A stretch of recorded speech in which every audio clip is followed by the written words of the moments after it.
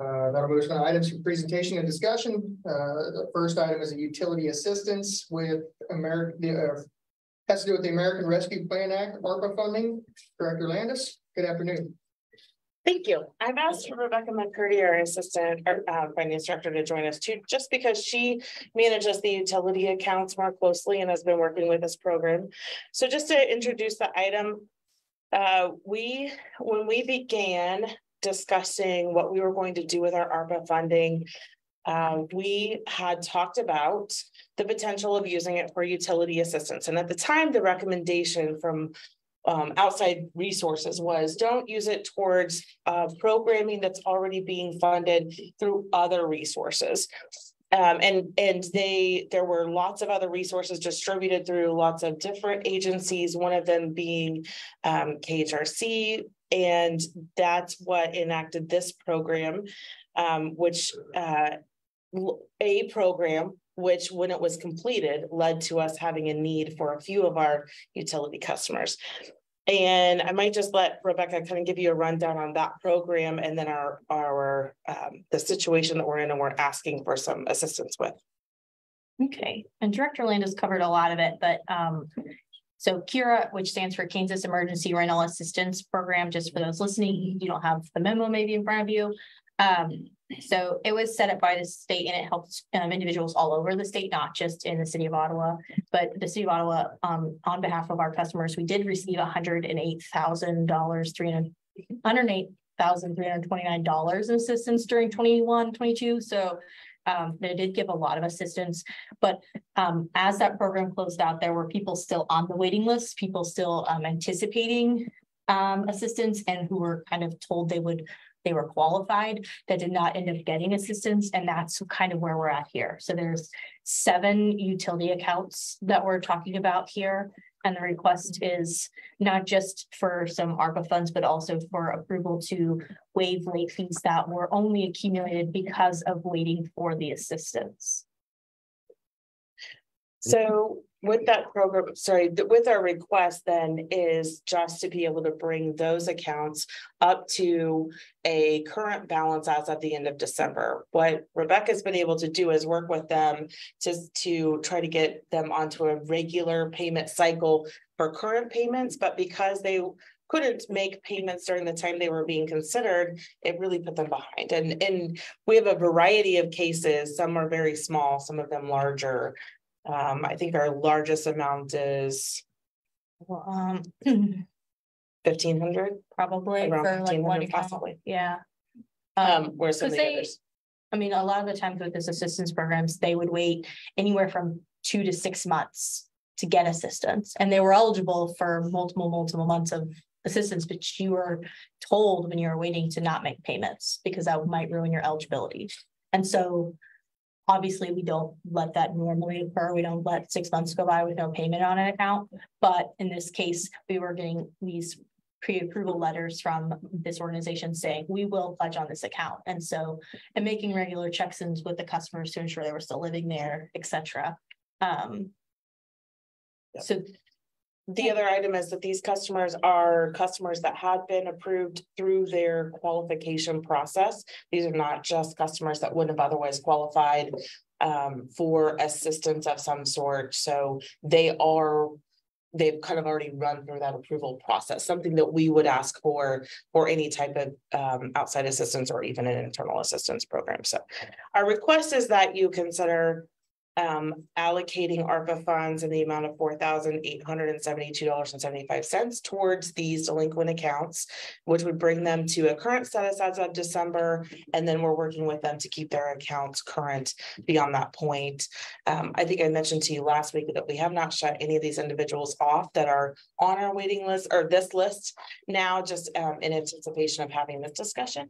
Um, but then if you would decide not to, we would want to continue probably trying to provide some sort of payment plan with them. But for some of these amounts, it might take a significant amount of time to get caught up on their accounts if they're paying something plus their current bill every month. So it wouldn't be your typical repayment plan. It would be something that would take much, a much longer period of time. I'm confused how the housing assistance of the state uh, how does that, how that went to pay rents for people, the landlords? So it actually went towards rent, utilities, and even internet coverage. Okay, I mean, the idea was to help people stay safely sheltered in place. so we can't use both the Kansas money and the ARPA funds for this. We have to use ARPA money for it. So their funding, um, unfortunately, it. They received a lot of funding, but the demand and the need across the entire state was much larger than they anticipated, and so they just, they ran out of funds. So these, so as many people as could be funded by that program have been funded. These are just those, our few customers that got caught, caught towards the end of the program. In the queue, but didn't get. In the queue, but didn't get covered. Yes, thank you. Okay, so you indicated that this was seven accounts, Mhm. delinquent accounts. Um, any idea how many citizens actually live at these locations roughly? Um. I mean, I have grown to know these people pretty closely. Um, Rough number? there are some families with multiple children. Um, let's see, it's probably like.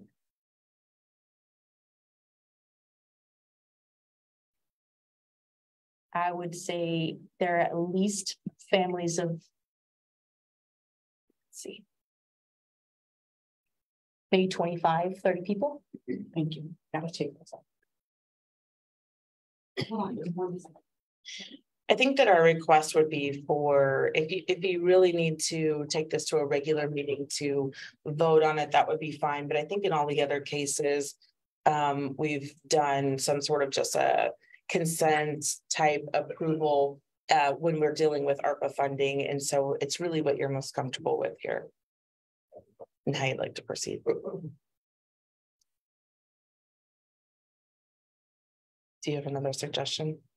I'm fine with approving it today. The next meeting's not till the fifteenth. I don't know that affects the timing on you guys. you know. Uh, I, I think if you just give us the heads on by consensus, I generally do these things administratively, but this was a little bit out of the ordinary, and that's why, um, I wanted to bring it back to you.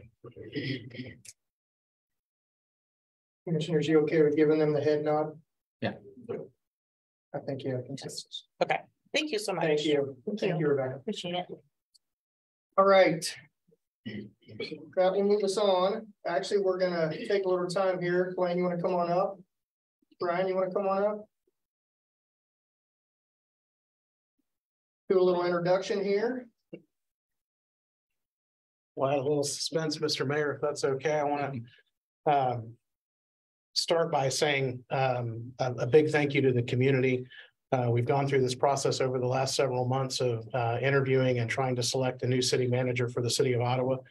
Uh, and um, we had uh, started out with twenty-six applicants from several states, including Canada, so we had an international search.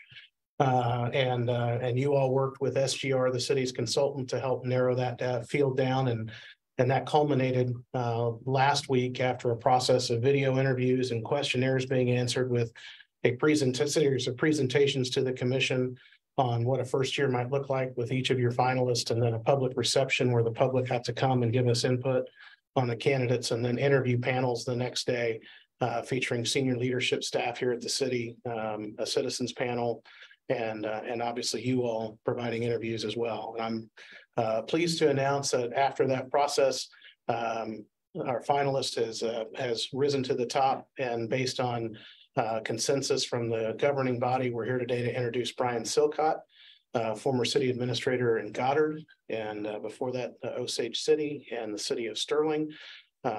Brian is a uh, Buford Watson Award winner, which is the award given to um, the, the person who exemplifies the best in, in city administration and city management across the state. Our current city manager, Richard Nienstedt, is also a Buford Watson Award winner. It's about as good as you can get in terms of Kansas municipal management. Uh, and so it's my honor to uh, introduce Brian Silcott uh, to the, the public on behalf of the governing body to say thank you to all who helped uh, in this process uh, and to uh, welcome Brian to the city of Ottawa. Thank you. Welcome, Brian. Thank you. and Thank you, commission and uh. Fellow uh, department heads, um, I felt welcome throughout and I know. Um, I know and I'm- am familiar with the other finalists and everyone felt welcome not only by the commission and the department heads, but the community as a whole. And uh, usually when you have community meet and greets and such, it, there's some uh, social anxiety there just because you're you're seeing so much. But both my my wife, Mary Elizabeth, and I felt very welcome by the community as a whole, and are excited to uh, to make Ottawa our home. Thank you. Thank you. Commissioners, uh, we do have the matter of approving the contract for your next city manager. I will point out, as, as, uh, Richard reminds us, he is the city manager until March thirty-first. That is the date he gave us, and, uh, I, I want to say that is a testament to the character of your current city manager too, that he gave us that much lead time to go through this process and to find a, a qualified successor.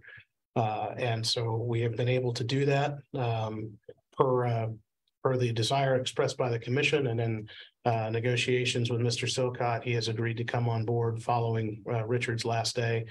Uh, and so we will have a kind of a seamless transition uh, from current to next city manager, uh, which is a, a luxury that a lot of communities don't have. Um, and we're fortunate to have these two gentlemen helping to make sure there's no gap uh, in that service. But uh, we've reviewed the terms of the contract um, in terms of um, the city's HR department.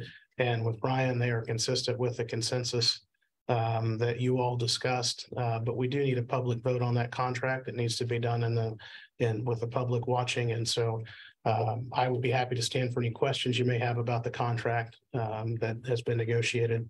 And of course, those documents are always public documents after they're approved by the commission as well. So happy to discuss that or take any questions you have on, on that. I have to admit, it was an exhaustive process, uh, not only tiring because of all the things we had to read so much about everybody. I mean, we, I feel like I know more about you than you know about you. But it was the right way to do it. This is a very, very important position to have in our community. Uh, and I, yeah, like- like you said, I appreciate the community's help and, and bringing input as well, because that was critical as well. We had good turnout, and so I'm really pleased with all that. So we need a motion. I will make a motion. We approve the contract as agreed upon. Second that motion. Motion and a second. Any discussion? All in favor, say aye. Aye. All opposed, same sign. Congratulations. Thank you. Thank you.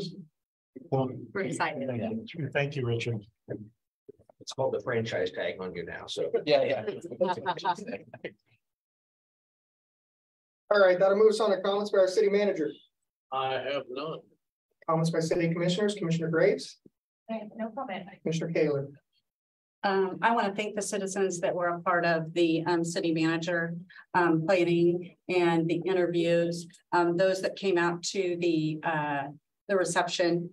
Um, it, it was a good process. So thank you, citizen, citizen involvement is critical and we appreciate, and I appreciate it. Thank you. Commissioner Clayton. Uh, I will ditto Commissioner Caylor and, uh, Mayor Pro Tem Skidmore. And it was a tiring process. There's a, I think I did more reading in that than I've probably done in a long time. Uh, don't tell my mom, the librarian. Um, but no, it was a, a great process. I was really excited to be a part of it. And I think the community really showed up and I think kind of put their best foot forward, showing how involved they are um, in a lot of things in the community. So thank everyone who was a part of that um, and kind of supported us through that as well. Thank you. Mayor Pro Tem Skidmore. Can't say anymore. That's good. Um, comments by the mayor. I have just a couple things. Uh, I two. Want to also once again thank Brian. We'll see you in about three weeks, hopefully. Um, I also want to thank the commission. You know, we, uh, we spent a lot of time, more time than usual together in the last three or four months going over this and, uh, there was a lot of great discussion, quite honestly. We spent a lot of time together. Um, you would think after a while it would, uh, wear on us. Um, and I don't really think it did. I think, uh, be- because of the relationship that we have as a commission, I think we work well together and I think we hopefully end up made, the uh, end up making the right decision for our community, along with our community involvement. Uh, between, you know, all the folks that did show up and all the folks that drove, uh, the, the applicants around and certainly, um, to the, uh, uh, department heads that spent a lot of time with them too. So thank everybody. Uh, I also want to remind everybody, I believe we set up the budget retreat for next Monday after city or after our commission meeting. Okay. Other than that, just a couple announcements. Our study session is next Monday, four P M here, and then March sixteenth. We have the retirement reception for our city manager, Richard Nienstedt, at two to four in the commission chambers. Anything else? You forgot his comment. Comment? Yeah, Commissioner, Did you have any? Oh, you didn't have any? Comments. Oh, okay. You got any other comments now that we've made? our- I, I know, I, I've been so used to him talking, I thought you, okay, my, oh, she's like, Sure. I just wanted to give you a chance to shine, okay. All right. Any, other- anything else Yeah. come before the commission this evening? Full adjourned.